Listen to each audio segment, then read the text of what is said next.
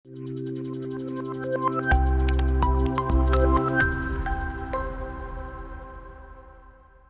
fakt, libra si Hakelberi Fini janë libra që i kanë rezistuar kohës, që do të thotë u flasin të gjithë brezave. Kështu që natyrisht Hakelberi Fini u flet edhe fëmijëve të sotëm. Në radhë të parë për atë që është koncepti i lirisë. Hakelberi Fini është një si si sikundër uh, Tom Sojeri është një antihero.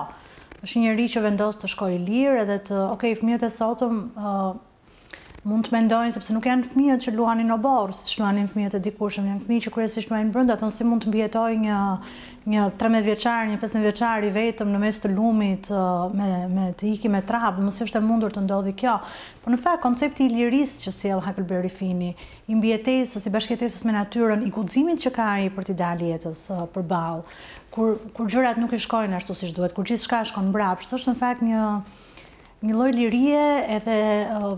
dëshire për rebelim që e ka çdo njeri brenda vetes. Kështu që të identifikon me veten në Hakelberi Fini, gjithmonë fëmijët do të jetë do duan të jenë të lirë, do duan të rebelohen, do duan të, sidomos në moshën e adoleshencës, kështu që gjithmonë çdo brez, Për shkak natyrës njerëzore do identifikohet me Hakelberi Finin me Tom Sojerin, me Pipi Çorapegjatën, me ato që janë antiheronjtë në fakt të letërsisë për fëmijë. Fabula është e thjeshtë, Hakelberi Fini një njeri, një fëmijë endacak gjen një pasuri të madhe me Tom Sojerin dhe tani ka shkuar të jetojë në shtëpinë e birësuar, që e ka birësuar një vejushë, po jo plotësisht sipas rregullave, me një lloj mirëkuptimi, i ati shfaqet në lojë, i cili është një pijanec, e rreh, kërkon t'i marrë paratë,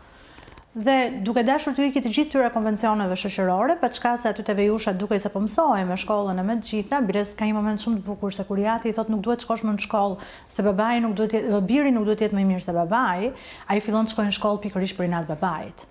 Shkolla nuk i pëlqen, vazhdon të mos i pëlqejë, por ai tani shkon për shkak se ka nevojë të rebelohet ndaj rregullave që i caktohen. Derisa ai vendos i ati në një farë mënyre e mban peng edhe ai vendos që të ikë i lirë. Risitë në ribotime mbetet gjithmonë gjuha.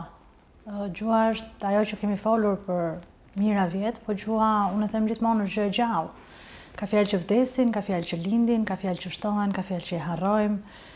Secili brez komunikon me gjuhën e tij. Pjesa e tyre më e madhe mbetet e njëjta, por shumë prej tyre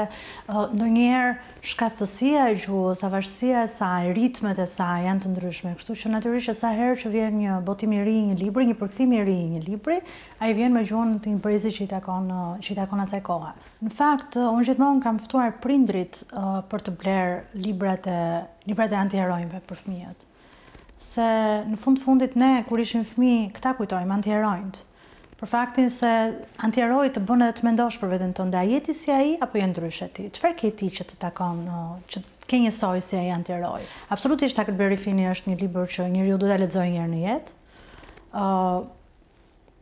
Prindërit e kanë të drejtën e tyre të zgjedhin midis përkthimeve të vjetra që zakonisht vjen prej nostalgjisë ose përkthimeve të reja që janë më afër fëmijëve dhe më afër prindërve vetë, Për shembull, njëra nga sprovat ishte me Tom Sojerin, që prindit kur e merrnin në dorë e rishijonin prapë me gjuhën e re, dhe kjo është, kjo është, për mua kjo është një fitore shumë e madhe në fakt e arritjeve që përkthimi mund të mbajë prindin edhe që e ka lexuar dikur dhe që e lexon sot.